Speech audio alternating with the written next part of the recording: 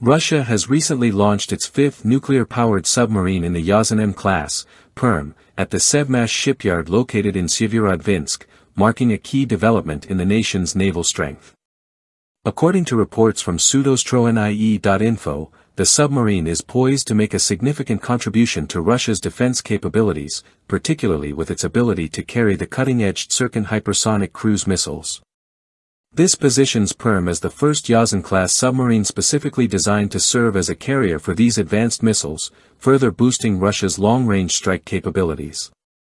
The submarine was initially laid down in the summer of 2016, and, while its launch marks a major milestone, it is anticipated to be officially commissioned into the Russian Navy by 2026. The Perm follows the earlier launch of the Arkhangelsk submarine, which became part of the fleet in the beginning of 2025. The Arkhangelsk, also a Yasen M-class submarine, was laid down in the summer of 2016 and launched in the fall of 2023, with its factory sea trials beginning in the middle of 2024.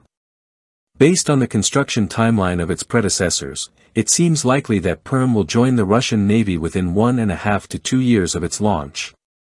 The Yasen M class is known for its formidable design, with submarines measuring 130 meters in length, 13 meters in width, and boasting a submerged displacement of 13,800 tons.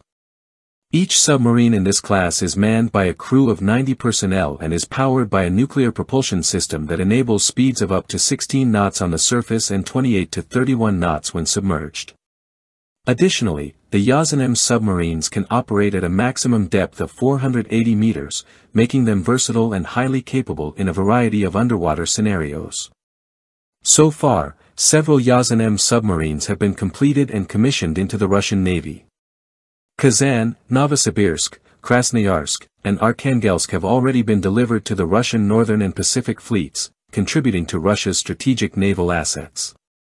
The construction of Perm, Ulyanovsk, Voronezh, and Vladivostok is currently in progress, with the ninth submarine, Bratsk, still in the planning phase. Once completed, this series will significantly enhance Russia's submarine fleet, with nine vessels in total. The Yasen M class represents Russia's ongoing efforts to modernize its navy and maintain a strong presence in global waters.